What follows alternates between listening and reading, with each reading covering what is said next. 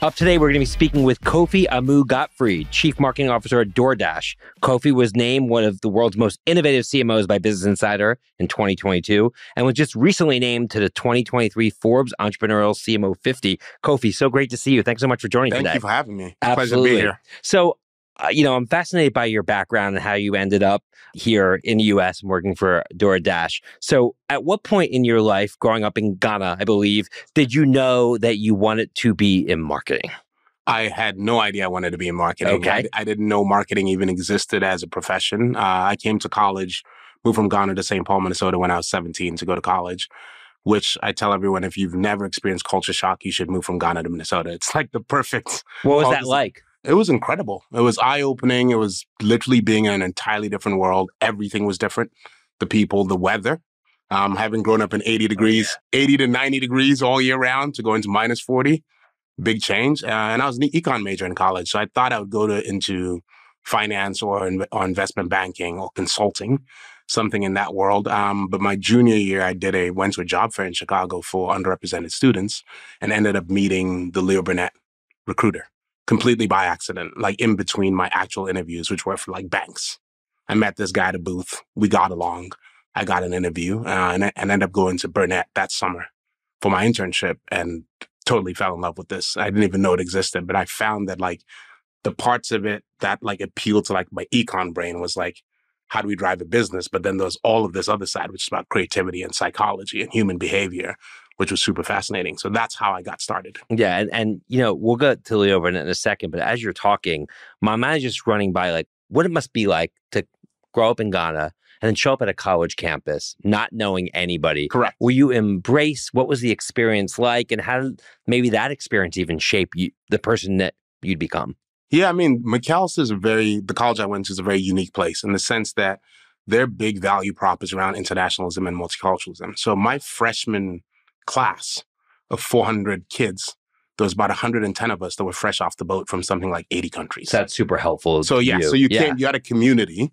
Um, those kids from my high school in Ghana that were there ahead of me. So the people I actually knew, I didn't even know they were there. By the way, when I got there, I got there and I was like, oh, I know you. You were a few years ahead of me in high school in Ghana. So yeah, Yeah. yeah. So you're at Leo Burnett, and obviously, you know, you didn't grow up in America, and Leo Burnett is marketing these American brands. hundred percent. Was there a learning curve just to even understand the consumer and just the brand architecture of America, Yeah. given that? And, and how did you kind of bridge that gap? Yeah, so the consumer side of it came naturally to me for two reasons. One, I'd already gone through this like massive shift four years earlier, where I had where I'd had to figure out what you know. And I, I was going to say America, but I, that's not even fair. What like Minnesota and St. Paul, and then specifically Macalester within that context, which wasn't even really like St. Paul because it was a very specific sort of bubble. But then I also grew up in a very large family, so I have like 84 first cousins. So I've always had to understand people. I've always had to figure out sort of how people are wired. And that has always come naturally to me as a result of my upbringing and sort of this very large family that I grew up in.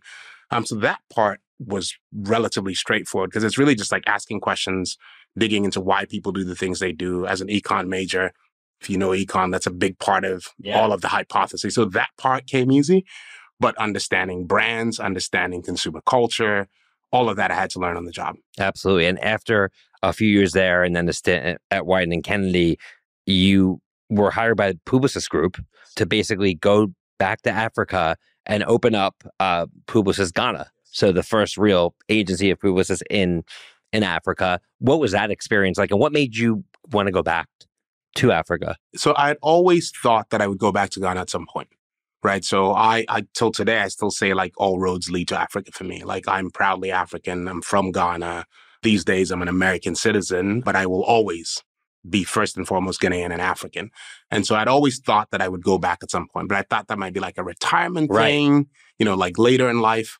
And I was having an amazing time at Wieden. Like, you know, the I still say that's the most fun job I've ever had. Like being the head of strategic planning on Nike at Wieden and Kennedy, all I did was like spend time with athletes. It Yeah. was just incredible. Iconic Uh, agency. yeah, iconic agency, iconic brand, iconic athletes, right?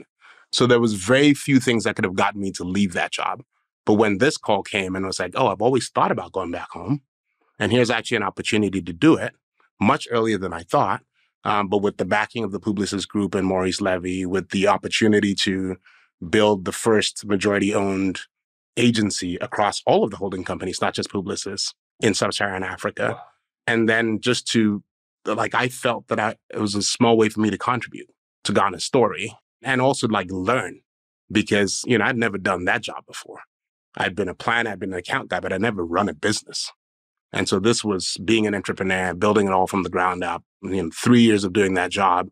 And I think it was like 15 years in experience in three years. So like sure. I wouldn't trade it for anything else. I'm sure. And yeah. then you decide to go to the client side or kind of cross the chasm, so to speak, to go work at Bacardi. And so at that point, you had felt like whatever you wanted to achieve with that venture, it seems like you felt good about. And then you would end up heading back to the US, first at Bacardi and then uh, agency world, then at Facebook. So being at Facebook in 2015 and 2019, kind of like the height of their dominance so to speak. So talk to us about that. Why did you go to Facebook and, and what did you hope to achieve when you were there? Yeah, it's, it's interesting. So when I left Ghana and went to Bacardi, as you said, that was my first time brand side. And what was fascinating about that was you got to the canvas was just so much bigger. Right. On the agency side, it was like, hey, you're making the campaigns. Here it was like, no, we have to figure out pricing and distribution and partnerships and innovation and packaging. And it was so it was fascinating to be able to like touch all of those things and lead that brand out of the UK on a global basis. And so then the work that we were creating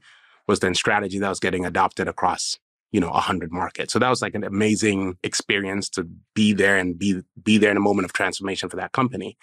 And then the the shift to Facebook, you, you'll remember this in 2015. There was this sort of like slide going around the internet, which was like the lar- the world's largest car company owns no cars. Right. The world's largest I hotel company that. owns no hotels. And it was this whole thing Airbnb, about like yeah. the share the sharing economy and all and, and so I was fascinated by technology. And at that point I'd also gotten to the part of my career where I just realized that the most important thing to do was to keep building skill sets.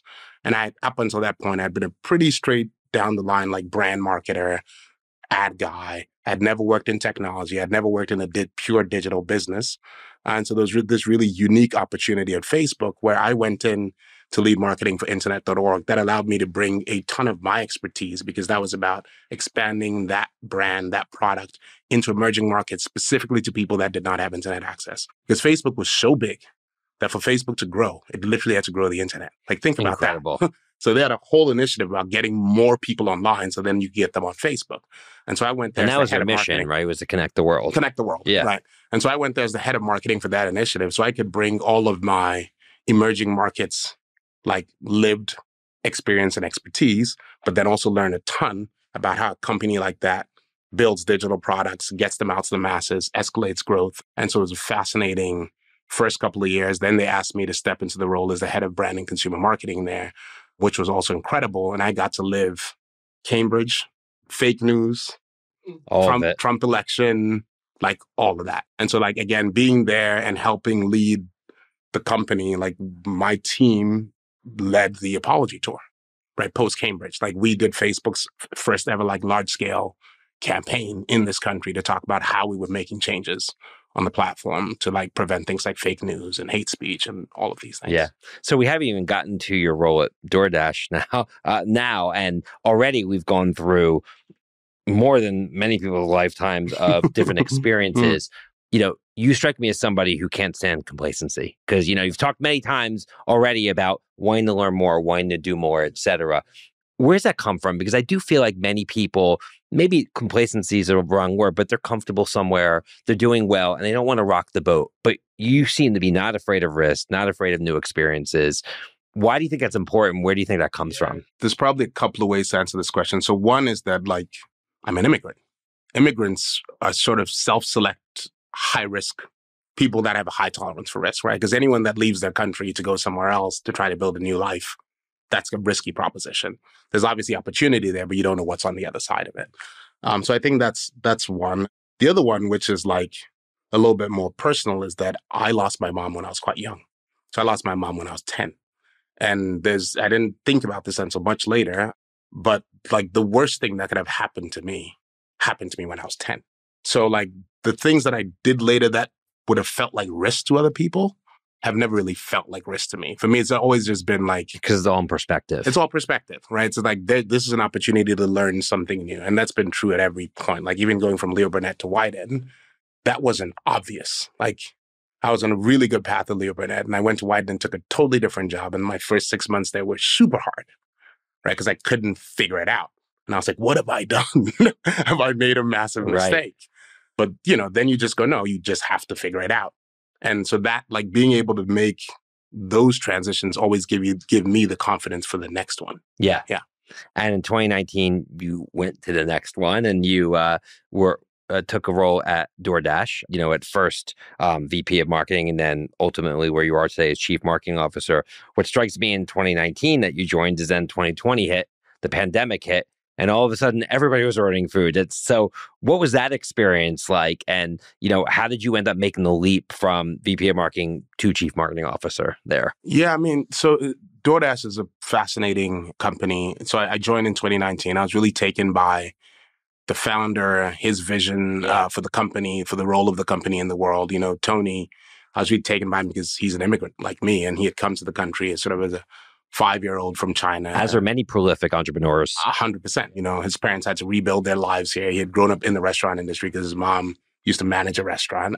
And so, you know, the notion that he wanted to build a business that would help small businesses compete was really interesting to me. So I was like, okay, that's like something I can get behind. And the company was already growing super fast. DoorDash in 19 was probably going 200, 300% year over year, but off a small base.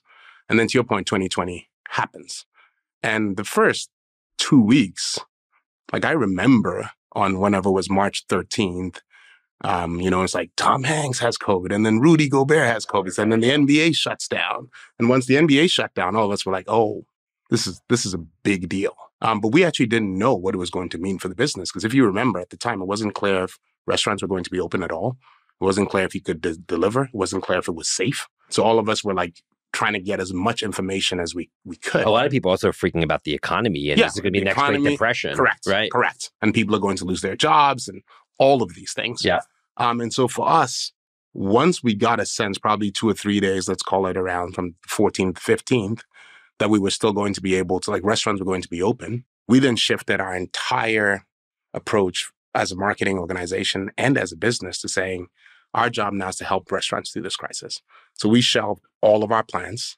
Um, and we just said, we're going to take all of our media and point it at this one thing. And we created a campaign in seven days called Open for Delivery, which was just, we're going to tell the world the restaurants are still open, order from them, uh, help keep them afloat. And then the business as well made like some choices that till today make me incredibly proud. Like we cut the commissions that we charge restaurants by 50%. And we're the only business in the space to do this for what at the time was an unprofitable pre-public right. company to the tune of $120 million and then ended up making a bunch of grants as well. But we just focused the entire business on like, how do we solve problems for people right now? And so that's what we did on the restaurant side. On the Dasher side, there was huge demand to your point about employment. There's all these people now coming into the space looking for work. So it's like, okay, how do we ramp up really quickly to help them navigate. We because that's another constituent. Your dad, huge constituent. Yep. Yeah, we became one of the largest procurers of PPE, and that was built by the marketing organization. Like we built a PPE supply chain so that dashers could get these um, resources and continue to work. We did things like we changed the schedule in we paid them. So we built a product called Instant Pay, which meant they could cash out the day that they worked versus waiting a week. Um, and then on the cons- consumer side, we had to rebuild the entire product because if you remember in those days, you had to meet your dasher. So you had to rebuild the product in two weeks to say like contactless drop off, all of these things, and then start to expand categories because we're seeing demand for stuff beyond restaurants, which which had always been the vision, but that period brought all of that accelerated. And it was just like you know that let's call it that year and a half.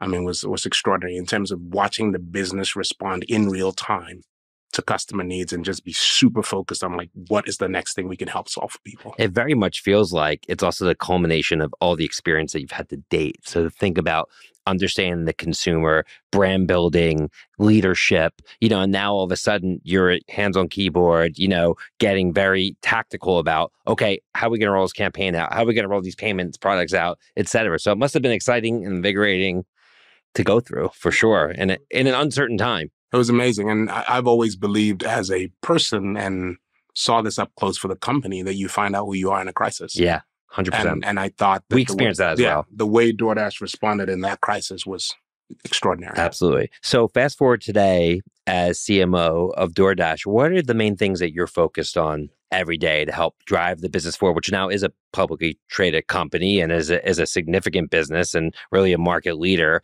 What do you focus on to, to propel the business further? There's a few things that we're focused on. So if you go back to 10 years ago when Tony and his co-founders did their submission into Y Combinator, their pitch was that they wanted to build a local FedEx. So the they started with restaurants because it's the largest category and it's the one that's most frequent um, in terms of like how many times people eat. Sure. But the vision was always that we want to help every small business on the street. So I'd say probably the first thing we're focused on is like how do we expand into multiple categories. And so over the last few years, we've expanded into groceries, into convenience, into alcohol, into flowers, into retail, like Sephora's on DoorDash, you know, like there's all of these things, which has been incredible, but that creates a bunch of challenges for the marketing organization because now these are, and for the business, because these are new customers that we have to go understand, new behaviors we have to go understand, new moments we have to go New understand stories you have to tell. new stories we have Yeah. to tell, uh, new products you have to build because the same UI and the same product flow that works for restaurants doesn't work that well if you're going to go like buy makeup, right? So like rebuilding all of these things uh, on the fly as we've gone. So new categories is a big one. International expansion is something we've been focused on. So we expanded a few years ago into Canada and then into Australia. And then about a year and a half ago, we acquired a Finnish food delivery company that operates in 23 markets called Wolt. And so we're also integrating that business and thinking about how do we build out the DoorDash platform and the Wolt platform internationally. Um, and then the third one, which I'd say most people are, are not aware of, is what we call our platform services business, which is we took all the things that we've learned from building on our own platform and then we white labeled it on behalf of merchants.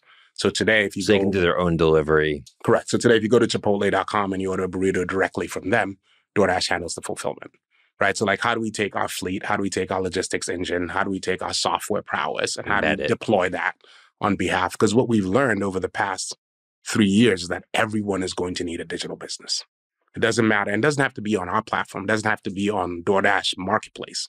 But you're going to need logistics. You're going to need fulfillment. You're going to need software. So how do we start to build that out for our partners? The So that- rails for dist- local distribution. Exactly. Yeah. Exactly. So that's that's a, uh, probably the third thing that we're focused on, and then much more recently, um, we've started to build an ads business on top of I was our- gonna ask you about on, that. on top of our platform. And what's been fascinating about that is like it's being built with the same mindset and ethos as the rest of the company, which is like this has to be a service for small businesses.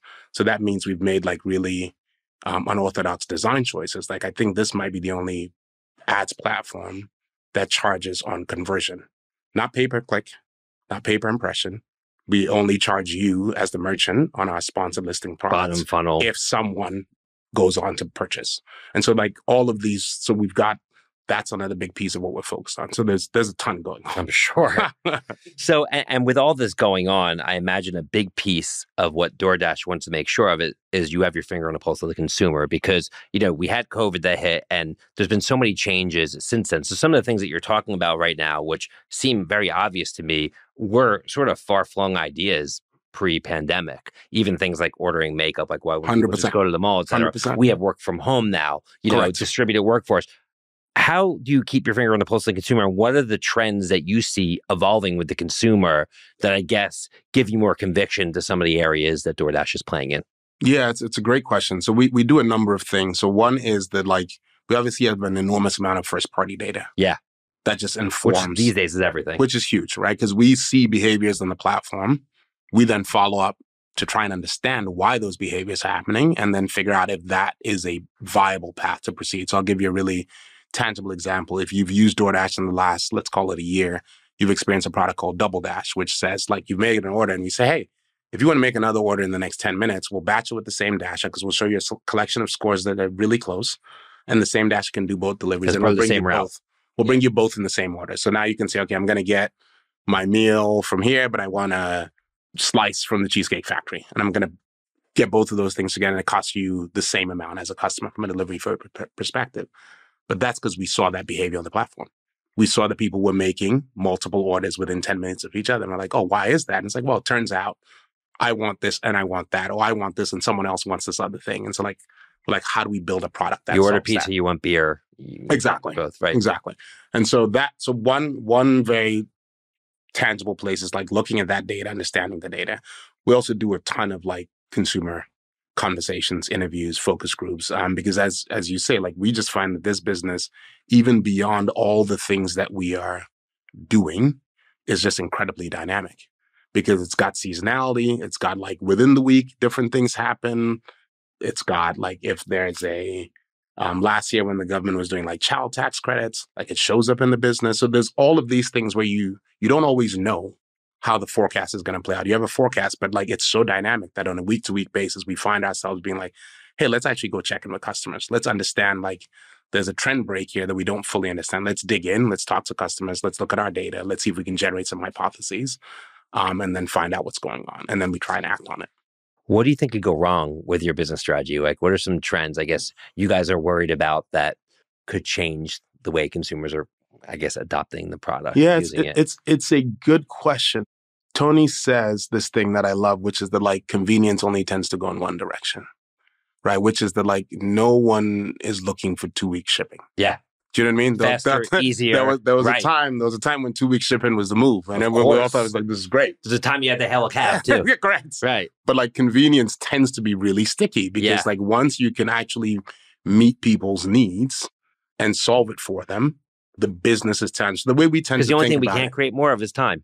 That's ultimately what it comes down this to. This is exactly it. And so the way we tend to think about it is is less external threats, but more a business is really composed of several inputs. Right. So we think about selection.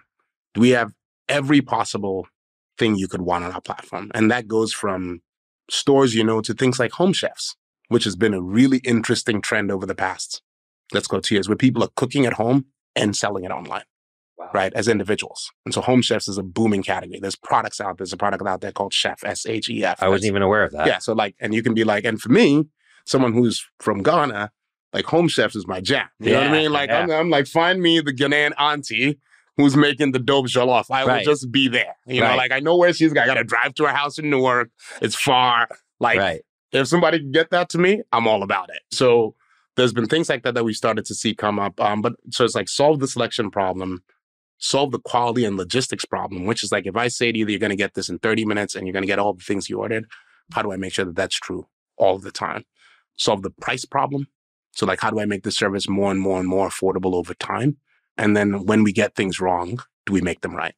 Which is the support and customer service dimension. So in our view, if we can continue to do that, To execute and, that o- and over time, we want to bring down consumer fees, bring down cost to merchants, drive up earnings to dashers. Like we want to just keep doing, and we've done that. So like, how do we keep? If we keep doing that, we think that like we can continue to grow this business. Yeah. Totally makes sense. So shifting gears here as we uh, wrap up, Kofi. I mean, you've had an incredible career, and I can just tell you by being here with you in person, you're a very inspiring person. I just feel inspired listening to your story, and it makes me want to do better by my organization and and continue to innovate. What are some some of the things that you'd point to that you feel you did well, maybe for some of our younger listeners here at Speed of Culture, that you'd like to impart on people? Because your road's been anything but easy and anything but the the, the road uh, most traveled, right? Sure. You've kind of bushwhacked through sure. to, to Sure. all different sorts of Yeah. places without fear, seemingly. yeah. You know, what's behind that and, and what could other people take away from your journey? Yeah, I'd say there's probably three things. One is for me is curiosity. So I generally try to approach everything with a beginner's mind. I try to not assume that I know the answer, even in areas where I think I'm a domain expert, because the world's too dynamic, it's too complicated. The things you knew yesterday, irrelevant today. You know, I joke with my team all the time that like, yo, when we're in high school, Pluto was a planet. You know what I mean? And that's like 400 years of physics. Like a lot of people worked on that. And we've now decided it's not a planet anymore. You know what I mean? Like these things will change. And so don't hold to dogma. So the first thing is just staying curious. The second one is really around like, which is more of a personal thing, um, is kindness. Like I just believe that like the number one orientation that I try to have to the world and to other people is like, be kind. Like it's, shit's hard enough. You know what I mean? So like, how do we try and create space for others? How do we try to help others? Like, I spend a bunch of my time mentoring for that reason because other people helped me get here. I did not get here by myself and no one gets anywhere alone, right? So trying to continue to do that. And then I'd say the third thing is probably just around like there is like it's going to be challenging at times. And it's important in those moments of challenge to just understand that there will be light on the other side, right? Like Yeah. when I got to Wieden, it was hard. When I went to Ghana, it was hard. But like having good mentors, having people you can call, having people that have been through the thing that you're going through that can give you perspective on it, um, and trusting that you'll navigate to the other side of it. And that even if you fail, it's a hugely valuable lesson. If when you do the thing that doesn't work out, it's just as valuable as doing the thing that did. So like those those would be the things I would say. Love that. Awesome. So to, to wrap all that up, is there a way to bottle that all up and maybe a mantra that you like to live by or a saying that kind of drives you? I know it's a tough one. Just pick the first thing that comes to mind. So I've got a couple that are related to the to what I just talked about. So one's like be kind because everyone's fighting a battle you know the thing about. The other one is like it's not uh it's a Lena Horne quote and it goes something like it's not the load that breaks you down, it's how you carry it. Which is that like none of us actually get to control anything that happens. We lie to ourselves that we do, but what we do control is how we respond. So just holding that and always being aware that like, you know, difficult things will happen. Lots of difficult things have happened in my life. But I get to choose how I respond. And then the third one is uh, from a much less um, lauded philosopher, Rocky Balboa. I'm from Philly. Rocky's, Rocky's my jam. which which is that Yeah. ti- which is that time is undefeated. We have no time. So like do the things that matter now. Yep.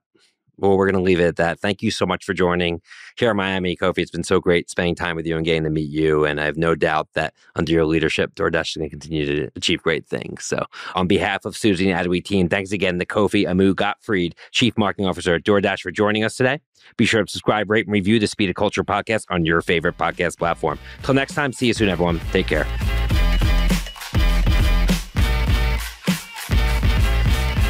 Speed of Culture is brought to you by Suzy as part of the Adweek Podcast Network and Acast Creator Network. You can listen and subscribe to all Adweek's podcasts by visiting adweek.com slash podcasts. To find out more about Suzy, head to Suzy.com. And make sure to search for The Speed of Culture in Apple Podcasts, Spotify, and Google Podcasts, or anywhere else podcasts are found. Click follow so you don't miss out on any future episodes. On behalf of the team here at Suzy, thanks for listening.